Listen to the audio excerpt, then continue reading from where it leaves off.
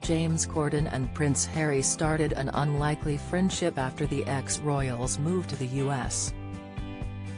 The Late Late Show talk show host James, who is leaving California after living there for eight years, only had lovely things about to say about Prince Harry and his wife Meghan Markle. According to reports, James built a close friendship with Prince Harry while there and the actor and presenter has filmed a few segments with Harry over the years. Most recently, James admitted it wouldn't be fair to wade into the constant debate surrounding the couple. The two are such close friends that Prince Harry even thanked James in the acknowledgement section of his book, Spare. Here's everything we know about their friendship.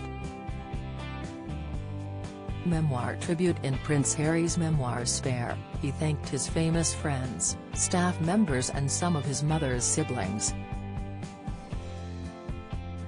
However, he never mentioned any members of the royal family.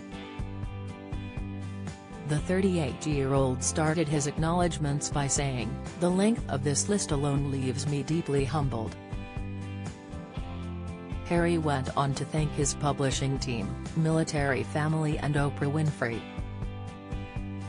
He also thanked Tyler Perry, Chris Martin, Nacho Figueras and his wife Delfina Blaquier, and James Corden for their unwavering friendship and support.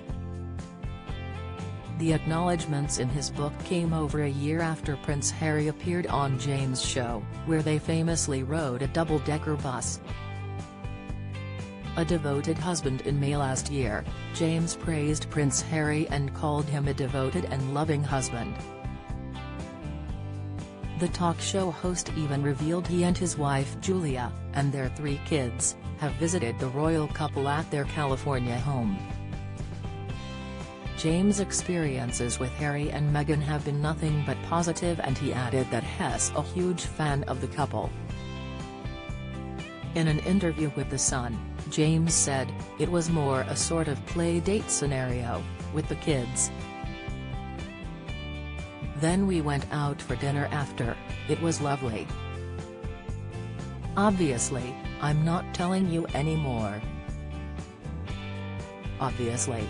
Speaking about Prince Harry, James continued, I have a huge amount of respect and admiration for Harry, and anyone who has been around him and spent time with him would feel exactly the same way. I think he is a devoted and loving husband and father and I think what they have done, in turning away from royal life, is incredibly brave and I'll always be in their corner. I have nothing but admiration and respect for them. I think it's impossible to judge any of it really.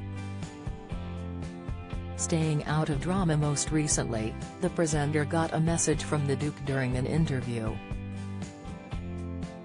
During a chat with The Sun, he said he would not be drawn on the current debate surrounding the Duke and Duchess of Sussex and said, it's not fair. On receiving the text he playfully told the interviewer oh god, wouldn't you just love to see these? It comes after he admitted he was terrified as he prepares to leave his hit US chat show. James is heading back to the UK after eight years in California but admitted he has never felt this scared in his professional life. Follow Mirror Celebs on Snapchat, Instagram, Twitter, and Facebook.